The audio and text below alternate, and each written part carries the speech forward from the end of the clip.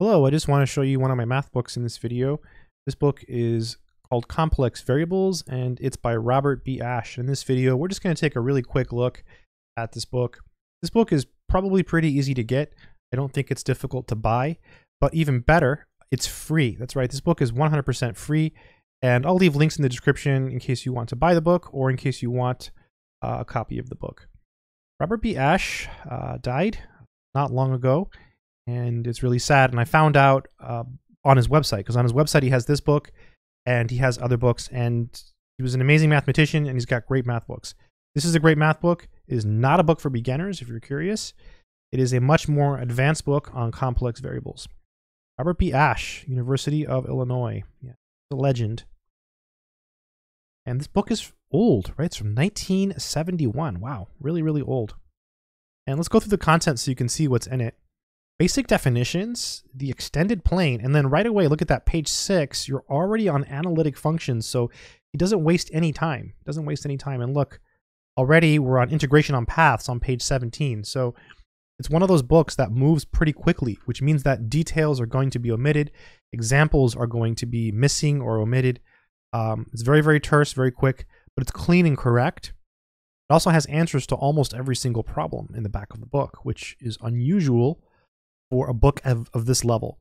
The general Cauchy theorem, applications of the Cauchy theory, entire functions, look, infinite products, and families of analytic functions. The prime number theorem, look, it's got an entire section on the Riemann zeta function. Wow.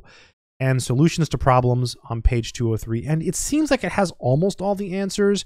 There's a couple that are missing a lot of times he'll say stuff like, "Oh, it's immediate by you know 1.2.7 or something." So, um, but for example, here like number one's missing, but there's two and three. Yeah, and, and you see he goes through all of all of the you know the painstaking. He goes through the proofs. He explains everything. So it's not like this is a book with terse explanations and no answers. No, it's it's a book with clean explanations, and it's just written at a higher level, right? A level that um, you know you, you need to be at i think before really benefiting from this book. But the good news is it's free. Let's read what he uh, what he talks about here in the preface. In writing this book i have attempted to achieve two goals. First to provide a ready access to the subject for students who are just beginning the professional training in mathematics. Thus i have tried to achieve reasonable coverage in a style that is easy to read. Yeah it is easy to read but again it's it's a high level and you know I, I think you should have a beginner book before tackling this one.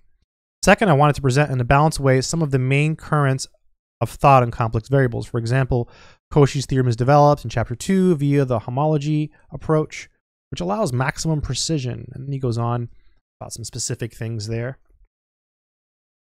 Jump to the end there. I, I do feel like this is a book, again, that you would probably want to have some complex variables. So for beginners, I would recommend um, the book by Saff and Snider. I think that's that's my favorite book on complex variables. A more popular choice, which is probably um, less expensive, is the one by Brown and Churchill. And I say that because it's been there's so many editions. It's just been it's like a timeless book. It's like the standard for learning complex variables. Another choice is actually the Schaum's on complex variables. That's a book that you can use that will help you greatly. I think everyone should own that book um, if they're serious about learning complex variables. So you can see here the um, the outline, how the book reads, the index of a point with respect to a closed curve, got a definition. Curve is a continuous map gamma from a bounded closed interval AB of reals to the complex plane C. And there's a theorem, and he gives a proof, right? It's clean. It's clean layout. It's a clean book. Clean mathematics. That's when I think of this book, I think of just like it's like a series of like perfect notes. That's what this book is like. It's like these are his notes, and so like he goes with these and he goes on his chalkboard and he presents the material. That's that's what the book feels like to me. I don't know if that's how the book was created.